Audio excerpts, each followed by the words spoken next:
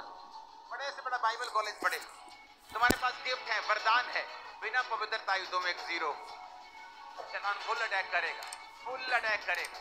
उसके पास legal right attack करने डे हैंड प्रेयर काम नहीं करेगी, अगर पाप के साथ जीवन बिताओगे।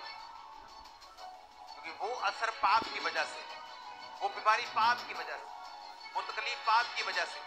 इसलिए जीसस क्राइस्ट ने पहले शब्द क्या बोले? मन फिराओ। पापों से मन फिराओ तुम्हारी बीमारियों का इलाज हो जाएगा।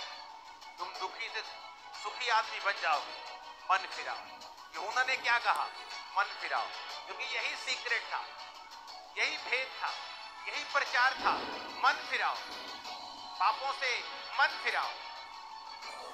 ताकि प्रभु के सम्मुख से शांति के दिन आए, विश्रांति के दिन। हालेलुया। ये बात को हमेशा याद रखो। तुम बड़े से बड़े क्रिश्चियन बड़े से बड़ा बाइबल कॉलेज पढ़े। तुम्हारे पास गिफ्ट है, वरदान है। बिना पवित्रता युद्धों में एक ज़ीरो शैतान फुल अटैक करेगा। फुल अटैक करेगा। उसके पास लीगल राइट अटैक करने डे हैंड प्रेयर काम नहीं करेगी, अगर पाप के साथ जीवन बिताओगे। क्योंकि वो असर पाप की वजह से, वो बीमारी पाप की वजह से, वो तकलीफ़ पाप की वजह से। इसलिए जीसस क्राइस्ट ने पहले शब्द क्या बोले? मन फिराओ। पापों से मन फिराओ तुम्हारी बीमारियों का इलाज हो जाएगा तुम दुखी से सुखी आदमी बन जाओगे मन फिराओ। यूना ने क्या कहा? मन फिराओ। क्योंकि यही सीक्रेट था। यही भेद था। यही प्रचार था। मन फिराओ। पापों से मन फिराओ। ताकि प्रभु के सम्मुख से शांति के दिन आए, विश्रांति के दिन। हालेलुया।